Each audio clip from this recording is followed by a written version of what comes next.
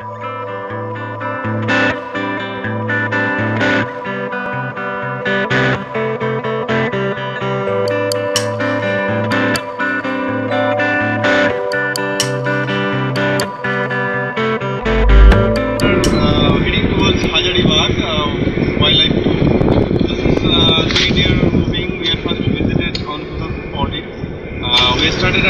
3 uh, 350 from Kolkata. It's around from Kolkata 400 kilometers.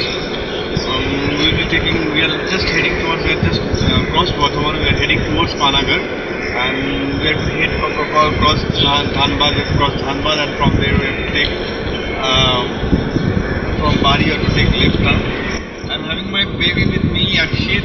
We all are with family going towards Hajaribagh trip. So let's enjoy. We are now on NH2. We are heading towards Hajaribagh on the way through Panagarh, Durgapur, Asansol, Dhanbad, and then from the Barhi junction we have to go left. We were started around 3 3:35 in the morning uh, with a fantastic environment, uh, rainy, with the family and friends for the visit to the Hazaribagh jungle, the wildlife safari park. In the midway, we had halted off uh, just for a small breakfast break with my family, a cup of tea, and bit of refreshment.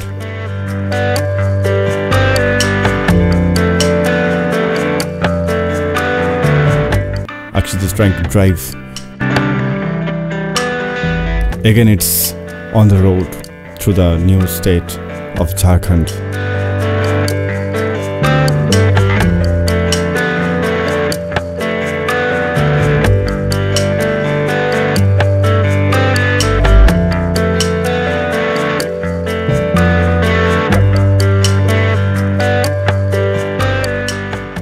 Was due to a camera battery charging problem.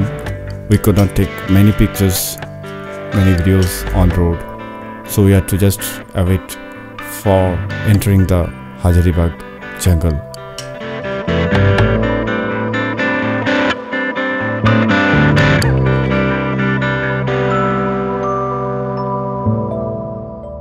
Hajaribagh National Park, located 19 kilometers from Hajaribagh town in Jharkhand state of India and about 135 kilometers from Ranchi, is also a sanctuary adorned with scenic beauties. The national park is located on Chotanagpur plateau. It stretches over 184 square kilometer of undulating countryside steep hills and deep drainage channels with thick tropical forest and grass meadows. At an average altitude of 615 meters, there are small rivers and a number of dams that have been constructed to form artificial lakes within the park.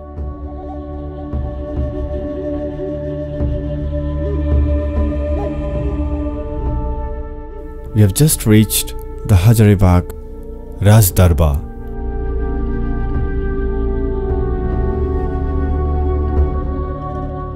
we all are excited to stay overnight in this forest, even the small child, in this natural beauty.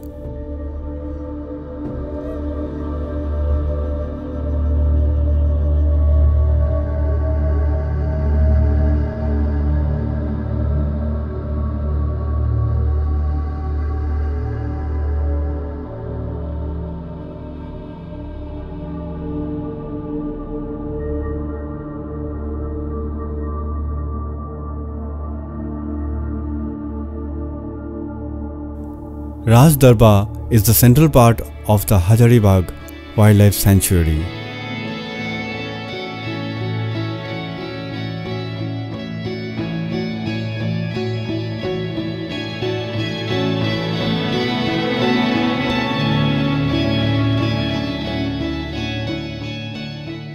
Here is a canteen with the guest houses and where the caretaker stays and just beside that there is a small museum with some specimens.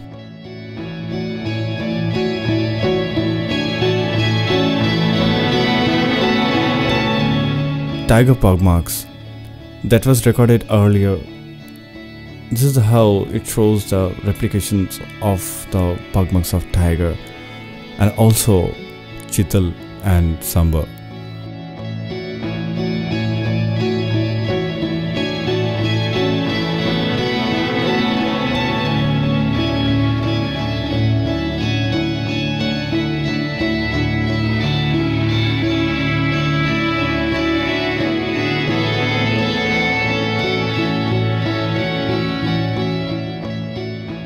They were models of animals that can be seen in the forest.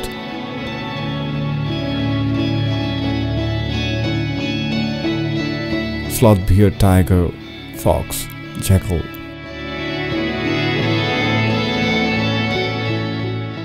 Kakar, chital and sambar. Few to mention.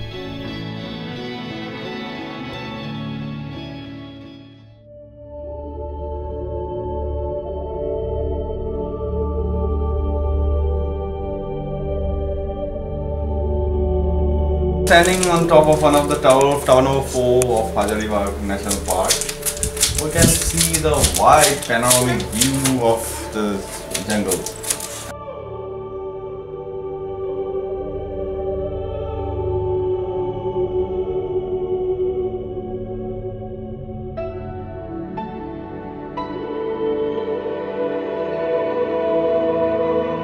And uh, above you can see some little tops, mountain tops. I don't know the names of them.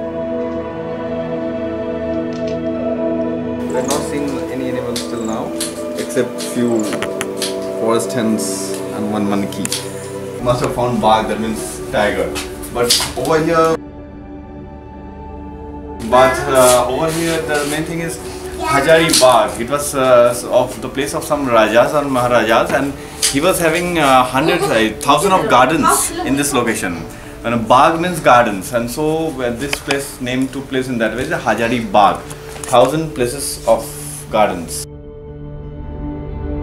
A 111 kilometers long stretch of road in the sanctuary takes the tourist to the remotest corners and the masonry towers of the park. The road offers excellent opportunities for the view of the wild animals. The tribal population also lives around the sanctuary. The ark has many watchtowers that act as perfect hideouts to see the wildlife in its natural surroundings.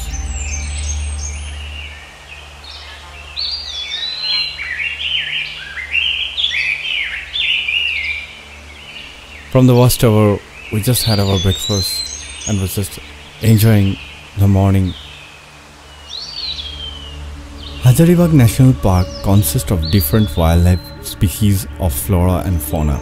Came into being in the year 1970, Hazaribagh National Park holds the highest number of wildlife species according to the census. However, the populace of tiger is less, hence, the tiger is considered as an endangered species in this park. Several varieties of flora and fauna are seen here. This area is filled with dense tropical forest, grassy meadows, and steep hills. Particularly in the monsoon period, the tropical forest looks so diverse with verdant pasture covering extensively spread territories of land. The different species of wild animals found in the park are wild boar, sambar, the kakar, sloth bear, chital, nilgai, panther. The climate in is tropical with hot summers and cold winters. Temperature during the summer months touch a high of 41 degrees centigrade and a low of 19 degrees centigrade. In winter months, the temperature ranges between a maximum and a minimum of 19 degrees centigrade and a 7 degrees centigrade. The monsoon months are July to mid-September. While on the way through the roads of the jungle, we suddenly found a rolling ball.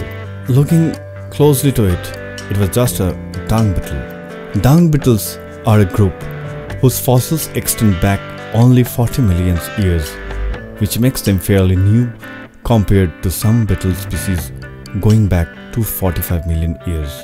Dung beetles are generally black or brown in color, although some are of metallic black, purple, green, blue, bronze or gold and may have intricate patterns.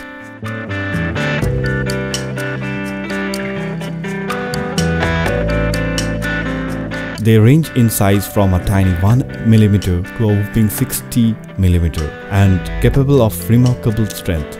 Dung beetles live on every continent except Antarctica. Various species are adapted to all kinds of habitats, including desert, farmland, forest, and grasslands. Roller types thrive in tropical areas. Dung beetles do not, however, enjoy extremely cold or dry weather. These dung beetles, unsurprisingly, feed on dung in both the adult and larval stages. They do not need anything else, not even water. Many species can detect dung immediately after it is dropped due to the methane release of large herbivores. When it finds a fresh pat, it fashions the dung into a ball and rolls it home, head down and walking backwards. That's hard work. The balls can be 50 times heavier than the beetle, whose body heats up as it pushes around its weighty cargo. The rollers, also known as tumblebugs, shift the dung into balls then roll it away from the dung heaps before burying it. They travel backwards holding the ball between the hind legs and pushing along the ground with forelegs. Often, the burrow area is prepared ahead of time by a female while a male collects and rolls the dung for her.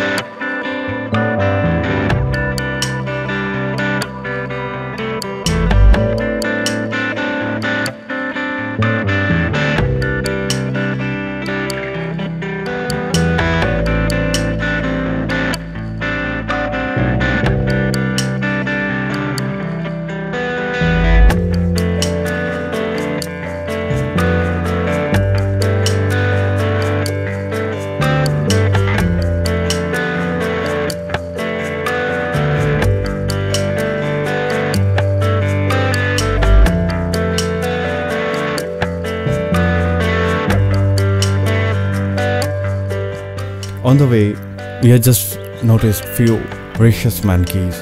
Just getting the sound of our car engine, they started hiding behind the trees and the bushes.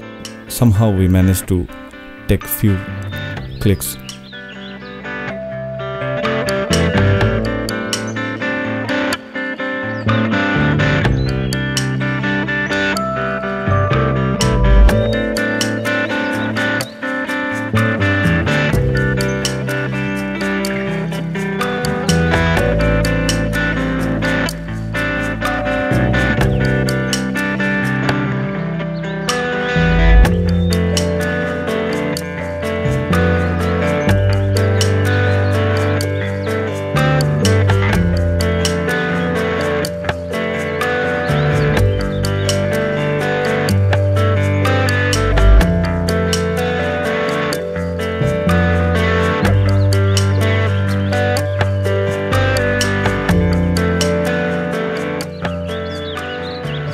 It's a small trip for us, a one night stay.